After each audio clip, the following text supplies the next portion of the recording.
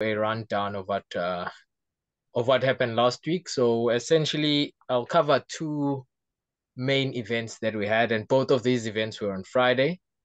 Uh, the first one being the ISM. Oh, sorry, the second one being ISM. The first one being NFP, right? Uh, because what we had for NFP, the data actually came in greater than expected. So that actually sent the the dollar up, but then it's we saw a rebound lower in the dollar. And one of the reasons we saw a rebound lower in the dollar uh, was after the ISM uh, data. And essentially, if you're not if you're not familiar with the ISM, ISM it's the Institute of Supply Management. Uh, it's U.S. data. Uh, it's specifically for the U.S. economy. Okay, let me see. Someone just sent a message in the chat. Uh, uh, can everyone hear me clearly? Yeah, uyazwakala bafo. Okay. Hello, my king. Oh, apologies. yeah, congratulations. Oh, sorry, man. I was, yeah, how are you? Apologies, apologies, guys. No, I was trying to unmute, but then it, it, it kept saying uh, you did not give uh, permission or something like that. So I was Oh, getting a funny message this time. Yeah, Oh, okay. No problem, no problem, no problem. But you but you haven't missed much because we're just getting started. No, no, no. I think I did not miss anything. Yeah, Yeah, we're just getting started. So essentially, I just yeah, want to yeah. go through the two main key events uh, for last week, which mostly impacted the dollar. Uh, so I just want to go into the ISM services, and then we'll also look at we'll also look at uh, the NFP, and then most importantly, what are we expecting moving forward? So if I go into the ISM non-manufacturing,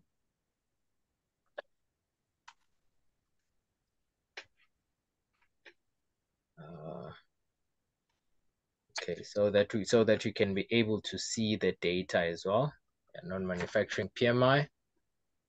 So I sent this chart in the group. Uh, I don't know if you if, if you recall this chart. Yeah.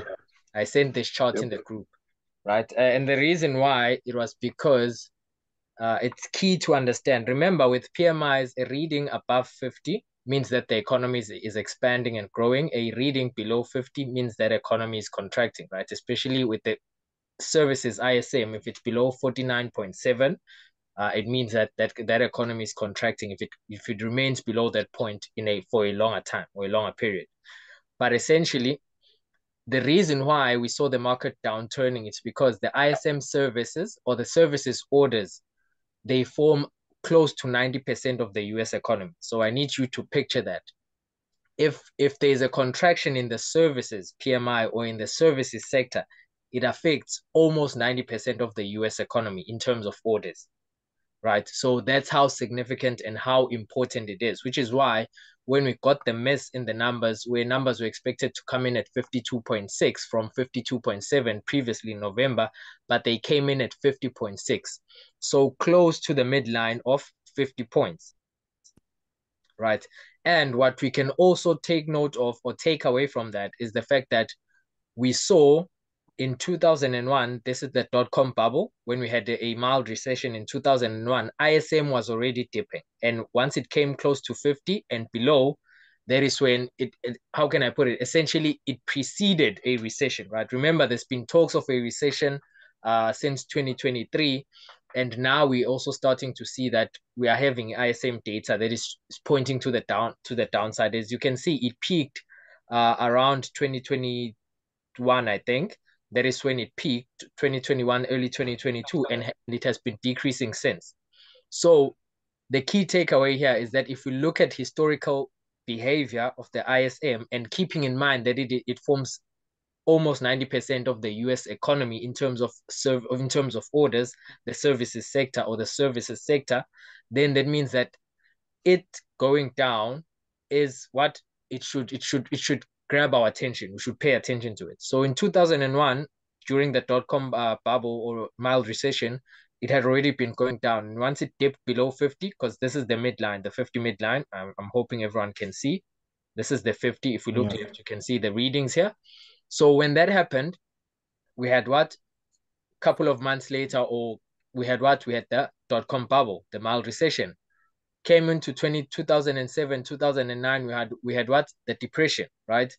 We also saw it declining below 50 around 2000 and 2007 and then we also had what? We also had a, a recession that followed after. Also 2020, we had COVID, right? And we also what? It had already been going lower. Yes, it spiked up, but then we saw it dip below 50. And then that is when we had we had that recession as well. So even now, the last time it dipped below 50 was around, mm, I think it was around March in 2023. Uh, but then it slightly it immediately reversed after that. So now it's back towards the 50 range. So moving forward, it will be very important to see the next two readings that we're gonna have uh, for January as well as for February. So the one that we had was for December. So remember, every data is like for the prior month, not for the current month that we're in. So the data that we'll be getting for in February will be for January, so on and so forth. So moving forward, it will be very important for us to pay attention to the trend, especially because it forms a big chunk of the US economy. And then what we've seen historically before or in times leading up to the recession, it's when it would dip below 50. Is that clear? Does that make sense? Yeah. Yep. Yep.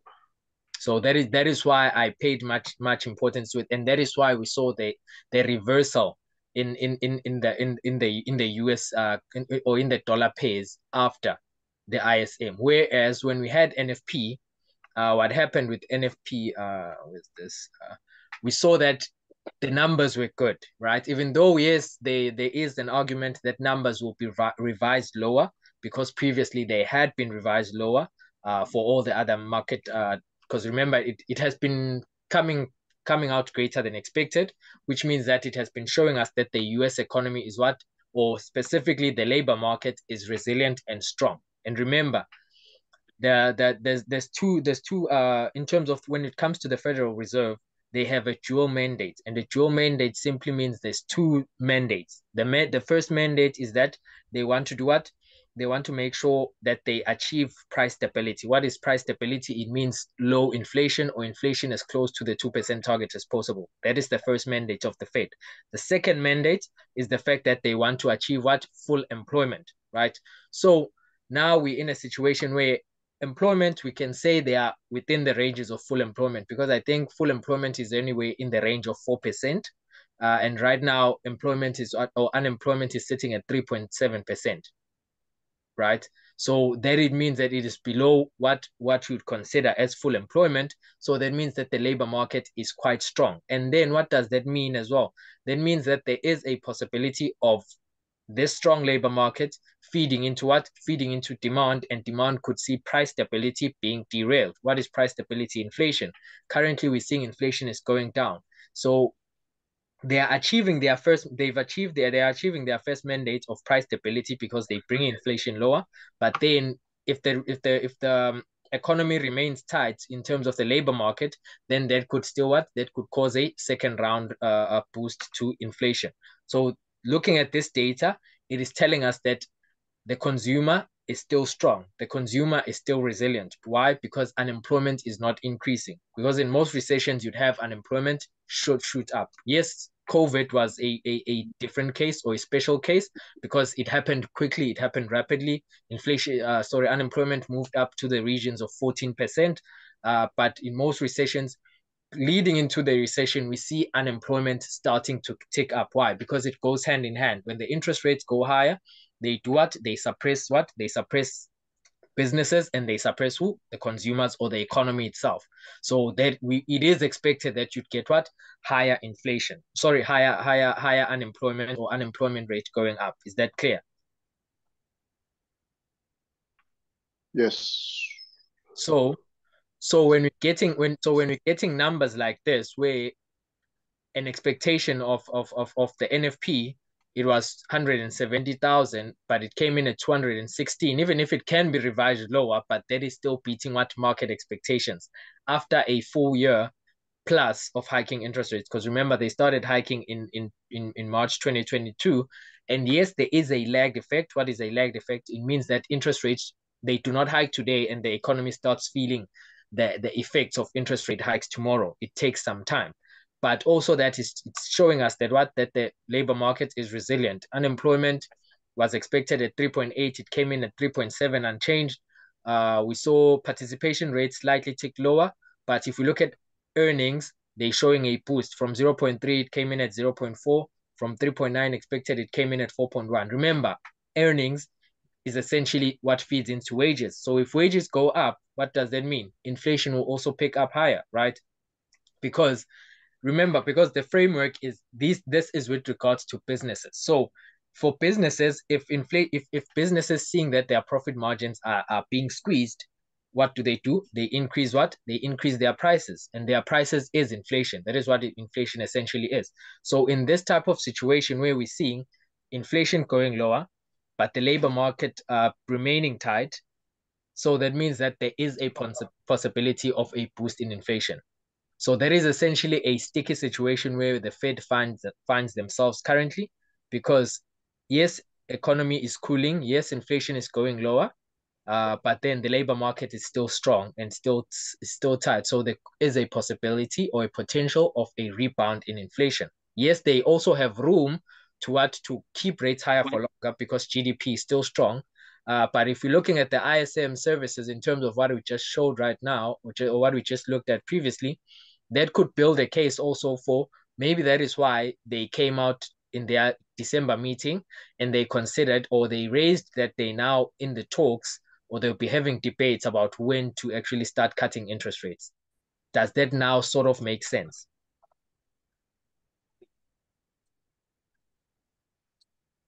Yep. Okay.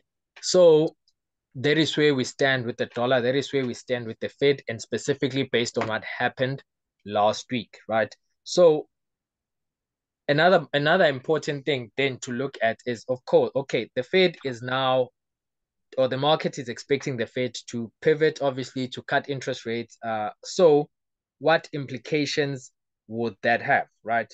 So, it's very important to understand okay, cutting of interest rates, as we know, it has the opposite effect to what we're seeing now. So, cutting of interest rates will essentially boost the economy, right? So it means that lower lower interest rates will what will, will promote consumers or how or how or households to actually do what to actually look to to borrow money because interest rates will be going down, borrowing costs will be going down. Businesses will also what will also be more inclined to borrow money or in terms of uh so that they can invest in equipment, also invest in hiring more people. But then now labor market is still strong. So if you're bringing down borrowing costs, whereas the labor market is still strong, it will just exacerbate what a rebound of inflation. So for me, that is where my my key focus is at. Yes, the chances of a recession have high, have heightened in the US, uh, but if you look at the labor market, it's still defying those odds, right? In terms of there is so that we can see uh, uh, a, a boost of inflation, because even cutting interest rates itself what promotes inflation? Because it, it, it in terms of easing or lowering interest rates prom- promotes inflation and it also boosts what? Asset classes or asset prices. Like we're seeing with the stock market rallying after the fed had came out and said they're now starting to discuss what? Interest rate cuts. We now saw what s&p 500 uh, nasdaq as well as um, the us 30 we said we saw them all rally up. Why? Because the the the, the assumption is that if if if if if the Fed announces that they're considering to cut interest rates, it would obviously, like I mentioned, it will increase spending of businesses and consumers, and that means that if it increases businesses, it increases the spending of businesses, and businesses grow, and also uh, in terms of business investments, then that will cause the what the stock prices of those specific businesses to go up. And remember, indices are composed of what of businesses. So if the stock prices go up, then it results it results in an increase in the asset in the asset prices essentially right so that is where we stand and that is something key moving forward in terms of the next data that we're getting how is it impacting the economy specifically the labor market. That is what I'm that is what is really, really worrying me, of which we could potentially see a rebound in inflation.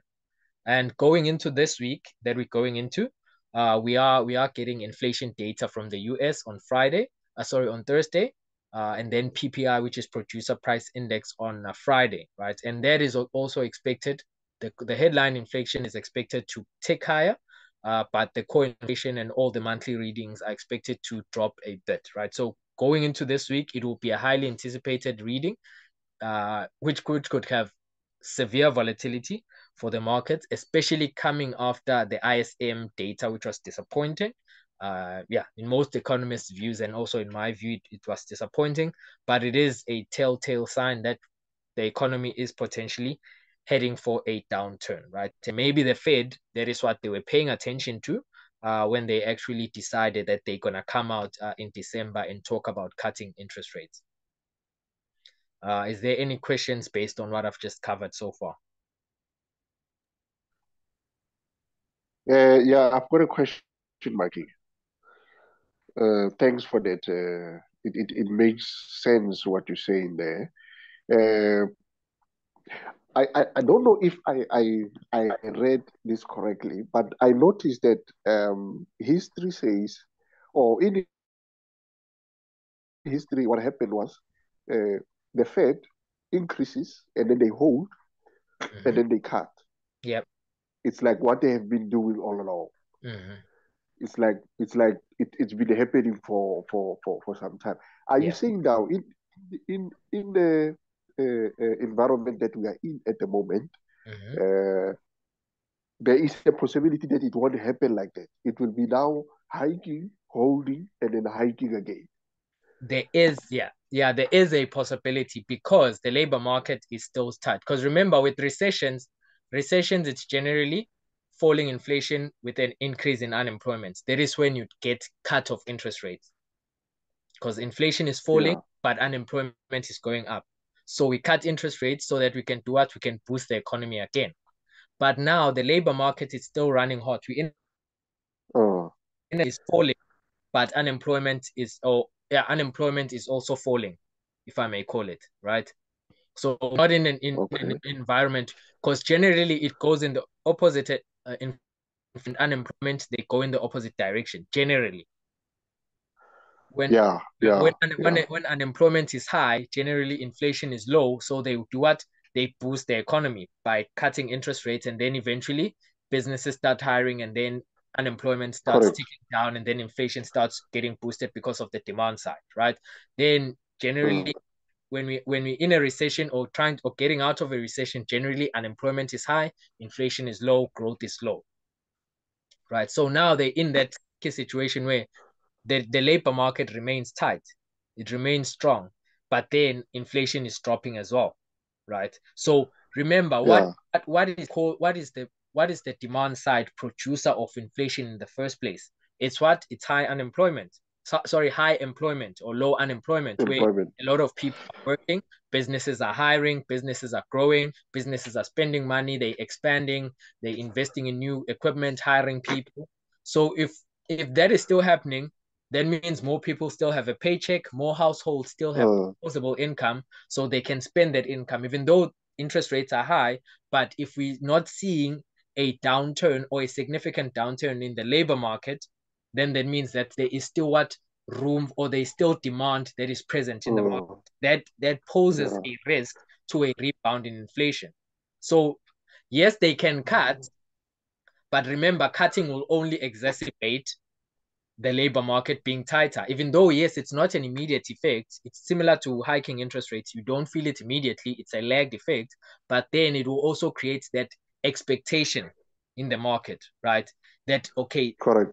Moving forward, it will be cheaper to borrow money. Moving forward, it will be cheaper to to spend because you're getting money at cheaper rates. So people will be more inclined to start what, uh, taking out mortgages, taking out car loans, and all of that. Yeah, yeah.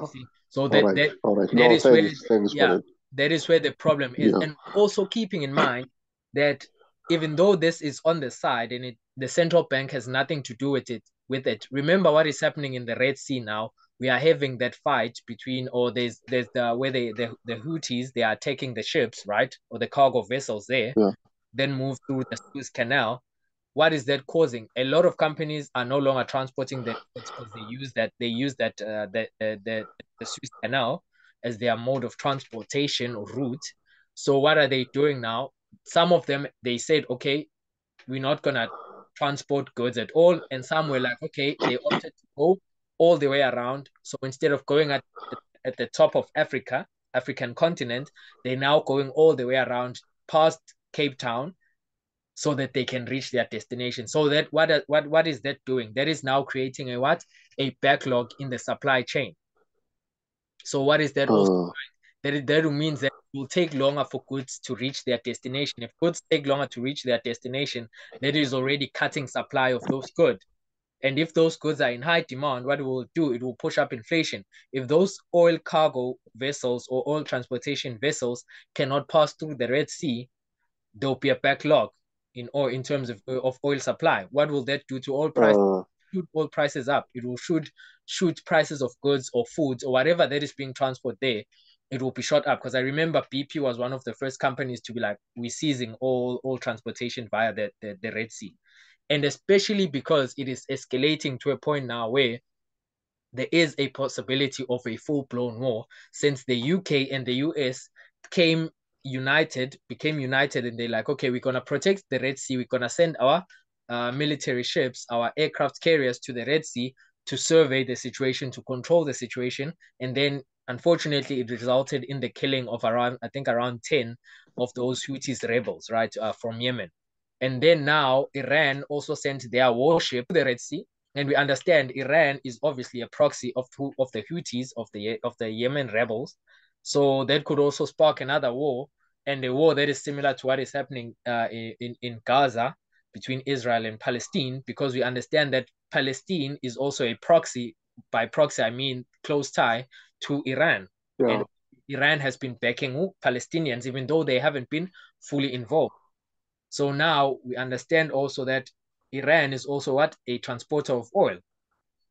So what could happen? Oil prices could be affected. Supply side of oil mm. affected. That could push oil prices high, and then and then we could have what a demand side, a a cost push side of inflation, and then we could see a rebound in inflationary pressures, right?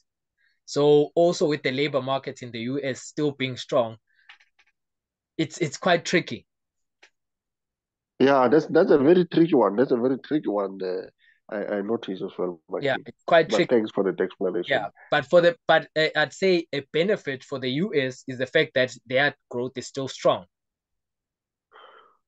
Okay. In terms of in terms of but, GDP.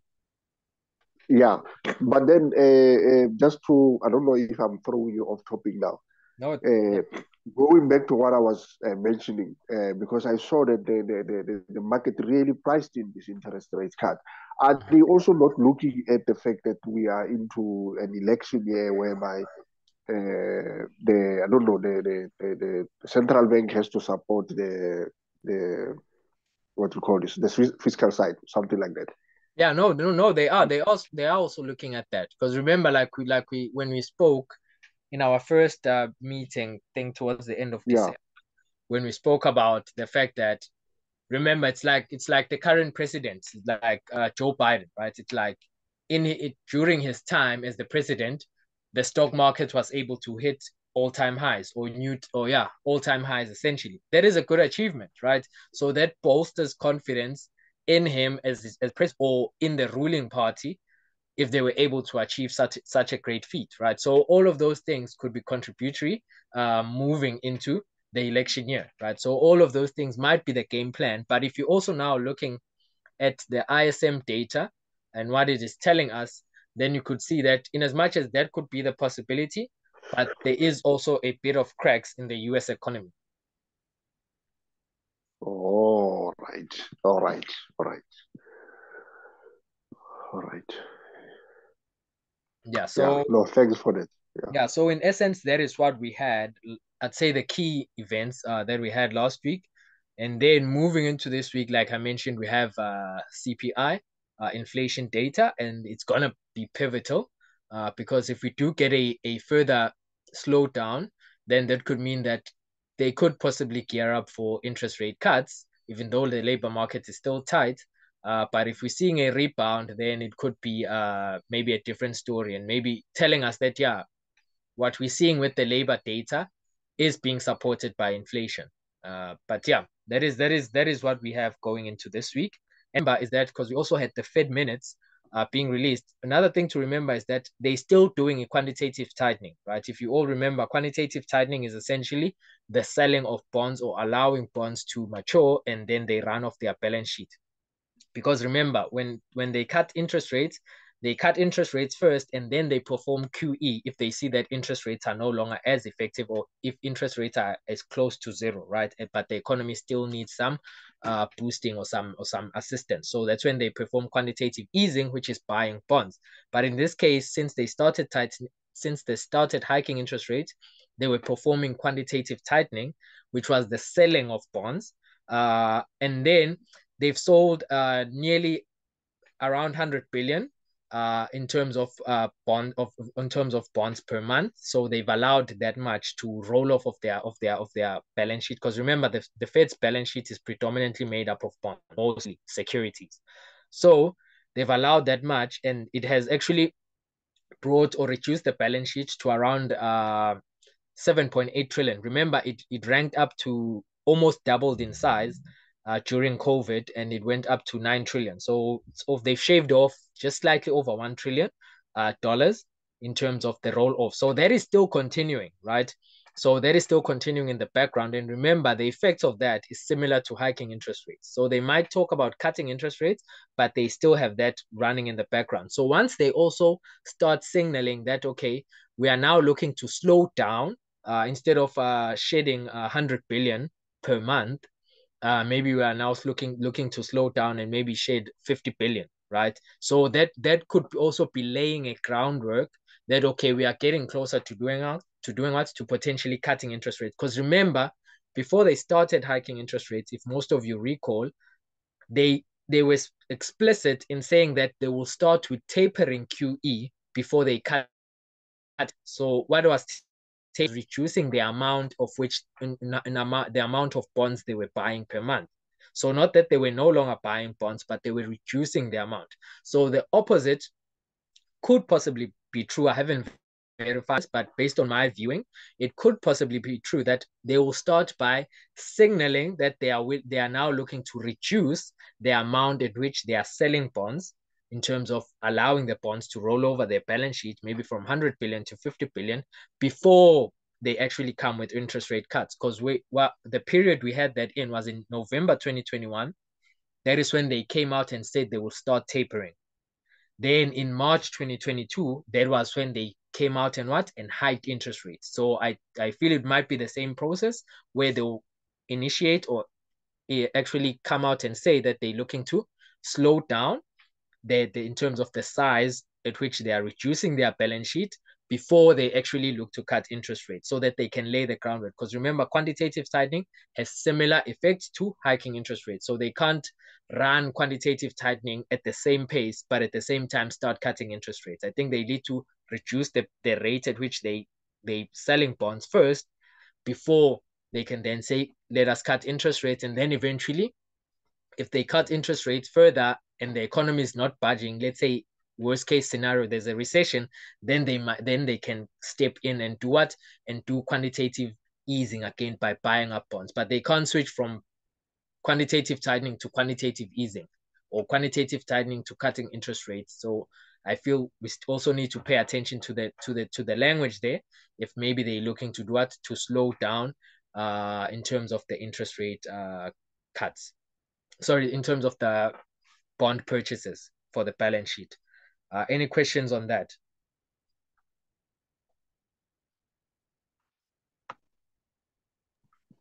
Nope. Uh, but for everything is clear. Yeah, I'm good, man. I'm okay. good. Okay, Masande, everything's clear. Yes, yes, yes, bro. Okay, okay. Uh, so so essentially that is where we are, uh, based on what is happening. Just focusing more on the US economy because remember, bigger economies, US, uh, China, and then, of course, Europe, uh, and tying it with the UK. Uh, and we know the story with China. They also having their, their CPI or inflation figures this week. And remember, they're in a contractionary environment uh, or deflationary environment, uh, as we know, because China's inflation is currently uh, in the negative territory, right? It is currently sitting in the negative territory. So yeah, that's essentially what I wanted to highlight there. And then if we can go into the spreadsheet, um, uh, can everyone see the spreadsheet now? Uh, yes, yeah. yes, we can. So, okay. so if we go into the spreadsheet, we can see that uh, we do have, uh, where's the inflation for China? So we can clearly see that China is sitting at, uh, inflation is sitting at negative. So from negative 0.2 dip to negative 0.5, I think it expected, it is expected to dip further to negative 0.7, right? So that is what we're seeing with China and obviously understanding if China is in a contract, if China's inflation is in a slowdown, uh, what will the central bank do? Everything opposite to what we explained with the dollar when the when inflation was high. So they for them they are they are cutting interest rates, which is what they've been doing, even though they're sitting at 3.45.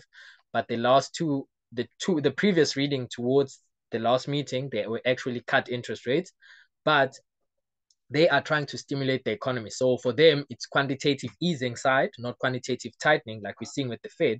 For them, they are still buying bonds to start to to increase the money supply in the economy, and then eventually, hopefully, that will boost the economy. Where we're seeing what uh, in terms of inflation picking up because more consumers are spending, more businesses are expanding and growing. But there is a sort of a slowdown in terms of their recovery process. Uh, like as much well, not as much as we had expected them to recover quickly. Uh, we're seeing that slow down, and that is, of, of course, affecting economies like the Australian economy, which is highly dependent on exporting iron ore to China.